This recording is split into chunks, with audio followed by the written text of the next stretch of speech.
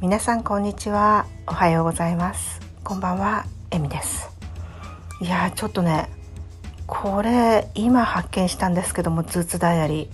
これいつアップされたんだろう。いやなんか私が今朝配信した前だったような気がするんですけどもねちょっとね私今から初見で読みたいと思います。なんかめっちゃワクワクドキドキするんですけれども。ではいきます。ダームなな男たち。マネージャー河津スタジアムライブまでにダームのミュージックビデオ撮れないですか？6月末。アロンアットホームトゥア真っ最中。そんなことを言ってきた。ダッチこと。10月に行われる。スタジアムライブのライブ演出も手掛ける。映像監督山田健人。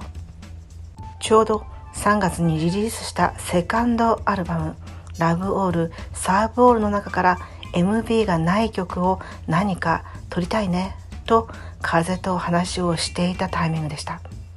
風からダッチに最初に伝えたのは「I love me」この曲はセルフラブがテーマだということ。7月末。風がコロナから戻ってきたタイミングで具体的な打ち合わせその最初の打ち合わせはくしくも映画「エルビス」を見た直後の打ち合わせとなり風の頭の中には エルビスが多少なりとも残っていたんだと思います。そうだったんですね。なるほど。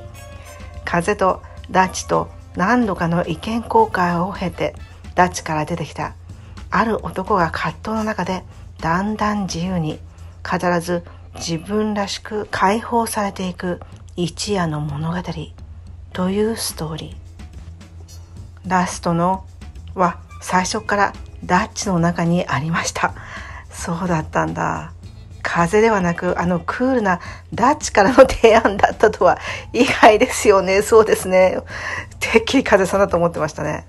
とにかくダッチが描いてきたストーリーが秀逸すぎたのと風自身本来の自分とは程遠い男を演じるというのが面白かったのか何度目かの打ち合わせでダッチからもらった当初の比較書をシェアさせてください。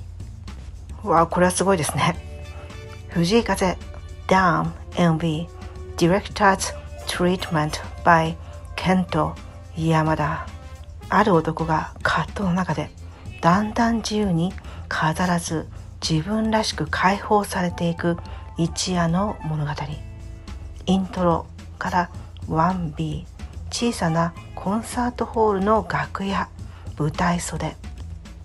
ある男が爪の先まで丁寧に手を洗っている。手を洗いながら鏡で入念に自分の姿をチェックしている。洗った手を胸元の黄色いハンカチで優雅に拭く。場所は楽屋のようで男は派手なスーツに決めたヘアスタイルである。広くはない空間にごちゃごちゃと衣装や道具が散らかっている。歌いながらノリノリで身支度を整える。今夜売れてやるぞといった意気込みを感じる。自信満々の表情。楽屋を出る直前まで鏡で自分の姿をチェック。鏡の中の自分を見つめにやりと笑う。そのまま舞台袖まで行き余裕のある面持ちでステージに上がっていく。イントロ0.03の鼻息の部分は絵として入れたい。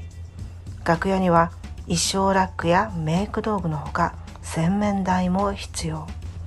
1サビから感想小さなコンサートホールのステージ。再び楽屋へ。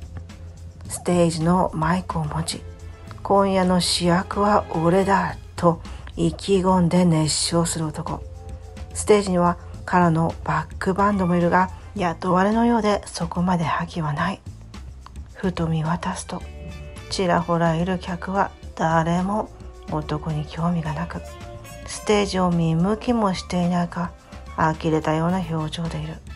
それに気づいた男。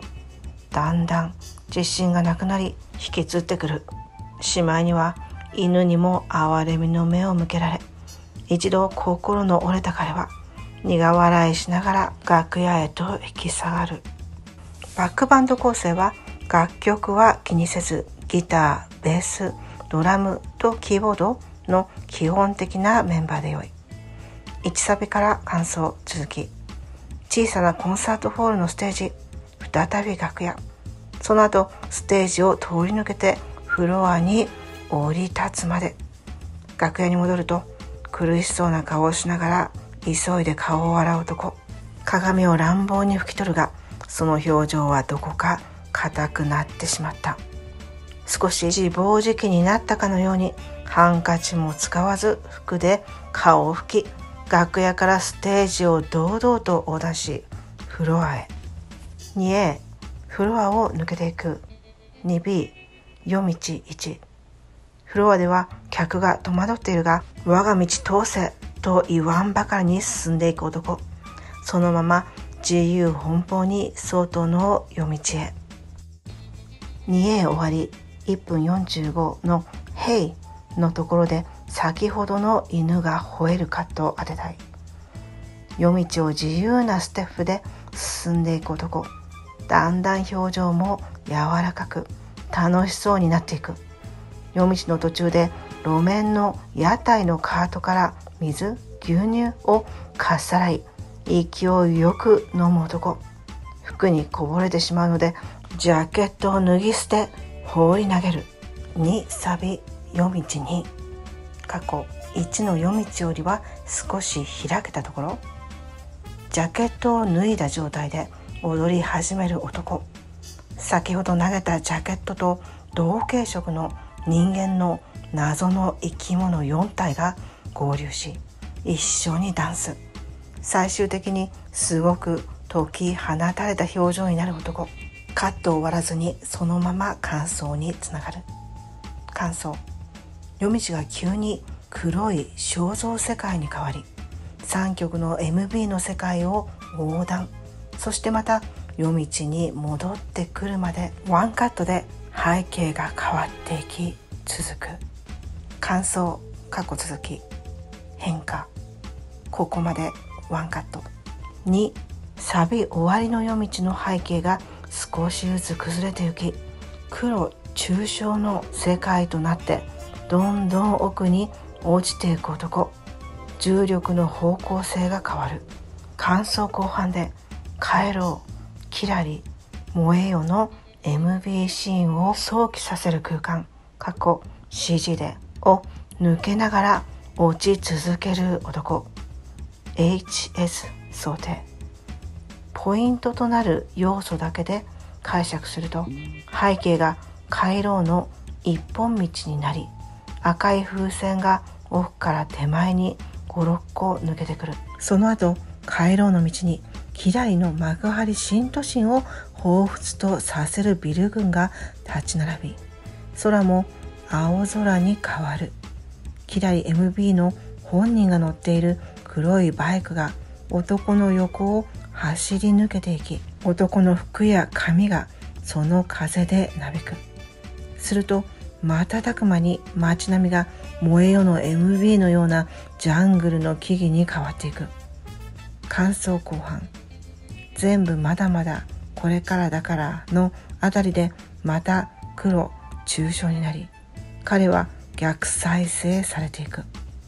いつかあんたにたどり着くからで冒頭の両手を広げた状態まで逆再生された時1カットの逆再生表現なのになぜか男は違う表情に変わっている。もう解き放たれたような表情ではなく何かを決意したようなたくましい表情へ。現実世界に戻ってきた男が決意と共に駆け出す。足元やバックショット過去ロケーションは渋谷スクランブルのカットを畳みかけ3サビへ。3サビからアウトロ誰もいない渋谷のスクランブル交差点にたどり着いた男は交差点の中央で自由に踊り回りながら歌っている。3サビ中盤ああ幸せってどんなだったっけなに差し掛かると渋谷のビル群が反重力的に崩れ交差点の抜けにどこかのスタジアムの客席が現れる。さらに自由に奔放になっていく男。アウトロまで踊りきった後ラストはふと我に返った男の足の裏を見ると犬の糞を踏んでしまっていた。ラストカットは「ダウン!」とつぶやきつつもどこかでそんなこと気にしてないといった男の表情。裏側のテーマとしては来週行われるスタジアムへ向けたぶち上がり楽曲 MV でしたがダッチからラストサビは渋谷スクランブル交差点からスタジアムになるって言われた時は一度え？でした。しかし完成した映像を見た時には一度ぶち上がりました。これをエンダンサーにはキラリ MV でも大活躍してくださったオタクダンサーの慎吾さん本当に素晴らしかった。今回の慎吾さんの振り付けの中で私個人的にお気に入りは 2B のホールから出て夜道を歩くシーンです。風のめっちゃめちゃかっこいい衣装のスタイリングとダンサーのインパクト大な衣装を作ってくれたのは竹之内レミさん。箱番役のバンドマンの方々も撮影中は本当にダンを演奏してくださっていました。さすがでした。そしてこちらが演者の皆さんなんですね。実はこんなにたくさん参加してくださっていた演者の皆様。7月に企画が立ち上がり8月は企画を練りに練って9月頭に撮影9月いっぱいの編集作業を経て9月30日に公開演者の方々撮影スタッフ編集スタッフ含めて関わってくださった方が過去一番多くここでは書ききれないのですが一人一人の皆様に本当に感謝しております。ダッチの一言から始まって結果として藤井風のこれまでの集大成のようなミュージックビデオになりました。ダウン。ということでねいやこれはこれはこれはめっちゃ詳しい解説でしたね。ここまで教えていただけるんですね。いやいつもながらずつさんありがとうございますってこれ読むだけで13分かかってますよ。もう。ねえ。いや皆さんもきっと忙しいと思ったんでね。私読ませていただきましたのでもしよかったらねあの聞き流してみてくださいということで番外編ということでこちらをねアップさせていただきたいと思います。では皆様またお会いいたしましょう。エミでした。ではまた。